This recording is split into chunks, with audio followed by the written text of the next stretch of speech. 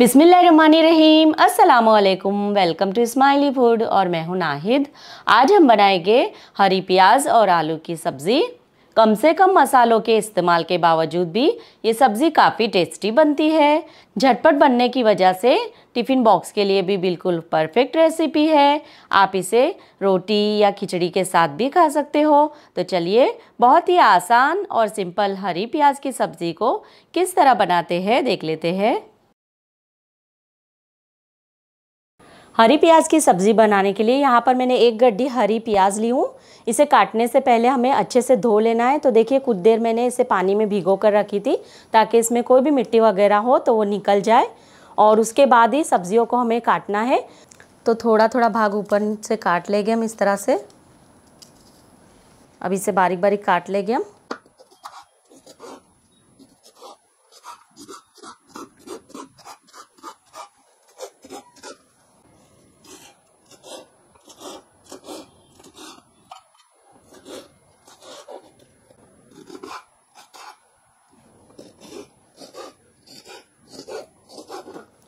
सभी हरी प्याज को काट लियो मैंने। चलिए अब इसकी सब्ज़ी बना लेते हैं।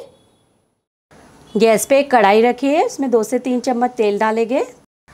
तेल गरम हो गया है, एक छोटा चम्मच ज़ीरा डालेंगे। रहीम। ज़ीरे को अच्छे से तड़कने देते यहाँ पर देखिए, चार से पाँच लहसुन की कलियाँ लिए बारीक काट कर ये भी डाल देते आप चाहे तो लहसुन को कूट कर भी ले सकते हो। थोड़ा सा लहसुन और ज़ीरे को हम अच्छे से फ्राई कर लेते हैं। लहसुन भी अच्छी तरह से यहाँ पर फ्राई हो गया इस टाइम पर हरी मिर्च डालेंगे। बीच में से कट करके एक मीडियम साइज़ का टमाटर लिया है, बारीक काट कर।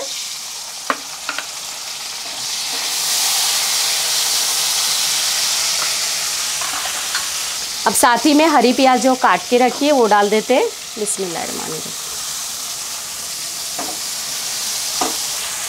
नमक डालेंगे टेस्ट के हिसाब से। आधा चम्मच हल्दी पाउडर, एक चम्मच फूल भर के लाल मिर्च का पाउडर, मिला देते हैं इसे।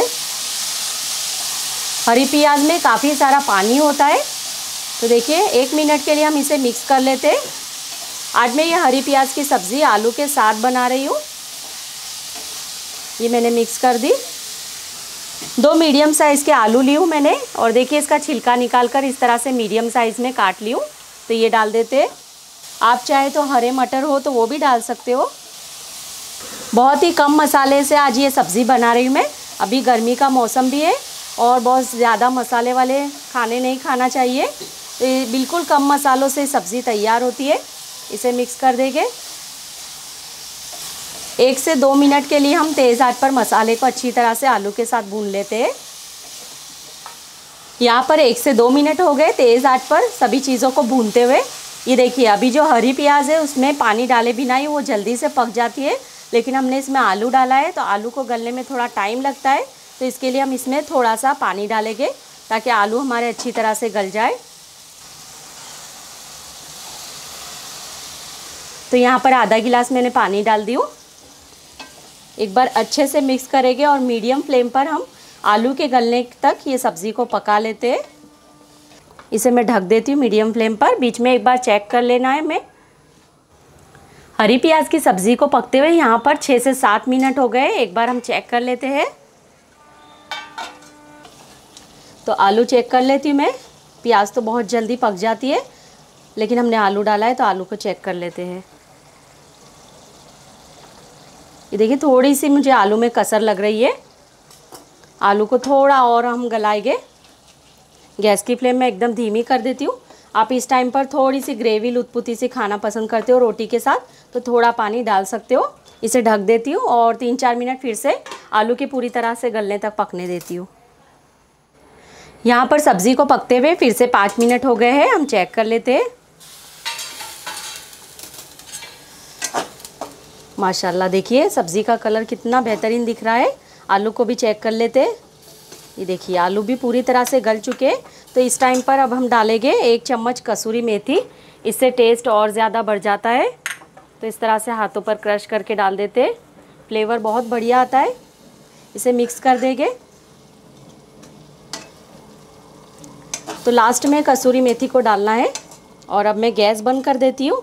और देखिए, ये हरी प्याज की सब्ज़ी हमारी बनकर तैयार हो चुकी है। तो गर्मा गर्म चलिए, ये सब्ज़ी को हम डिश आउट कर लेते हैं। माशाल्लाह, देखिए, कम मसालों से भी ये सब्ज़ी में बहुत अच्छा फ्लेवर आता है। बहुत ही कम मसालों से मैंने इसे तैयार की हूँ। और गर्मियों में ऐसे भी कम मसाले वाला ही खाना चाहिए तो मिर्च मसाले और धनिया पाउडर तो बिल्कुल भी नहीं डाली मैंने, ना ही गरम मसाला डाली हूँ, फिर भी माशाल्लाह देखिए, खाने में बहुत ही टेस्टी लगती है। हमने इसमें एक टमाटर काट के डाला था, उससे हल्का सा खट्टा टेस्ट आता है तो बहुत अच्छी लगती है सब्ज़ी।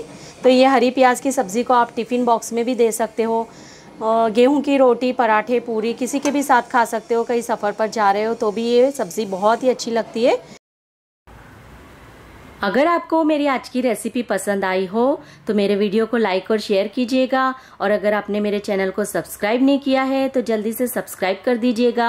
अपना बहुत सारा ख्याल रखिएगा, दुआओं में मुझे याद रखिएगा। फिर मिलते हैं इंशाल्लाह एक नई रेसिपी के साथ। अल्लाह हाफिज़।